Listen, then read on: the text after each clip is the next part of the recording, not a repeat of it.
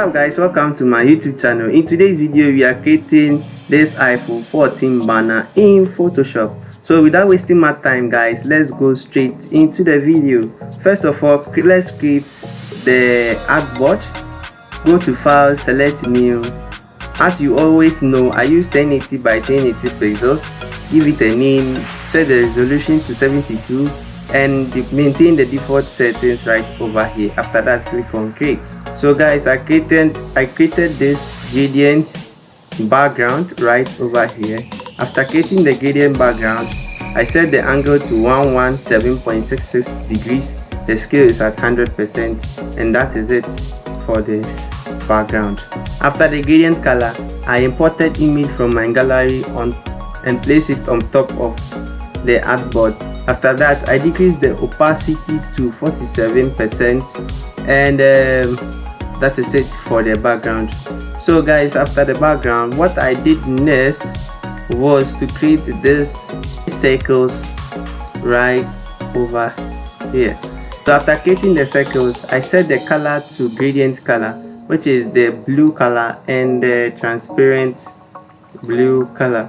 So let's check one the color codes and see. So guys as you can see the color code is 3a 8c fc that is it for this one right over here. So that is what i did for the circles. After drawing the circles what i did next was to add the main objects to on top after drawing the circles, I place the main object on top of the artboard.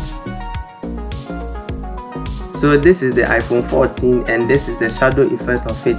So with the shadow effect, I decrease the opacity to 29% and I and the filter to 71%.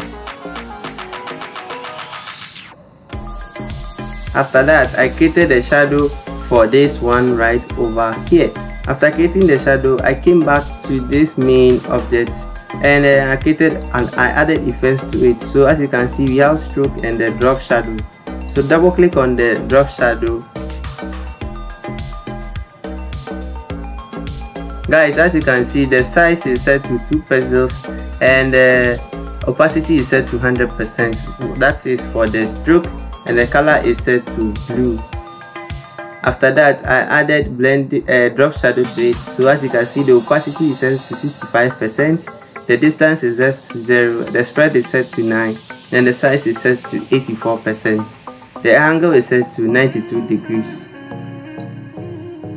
Okay that is it for the uh, effects around for this iphone or for the iphone 14 okay guys after that i created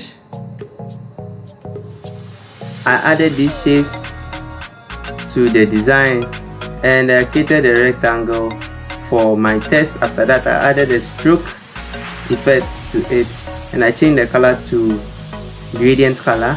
After that I added this arrow shape right over here. And I started after adding all these shapes and uh, rectangles I added my test to the poster. So guys that is it.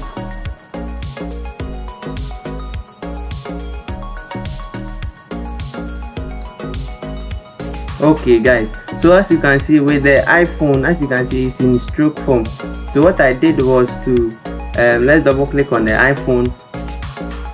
What i did was to decrease the opacity for the text and increase the stroke size to 2 pixels and guys that is what i did and I got this effect right over here.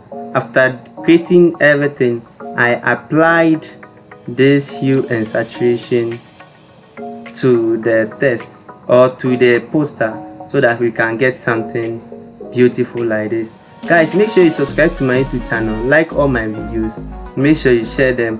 Guys thank you guys for watching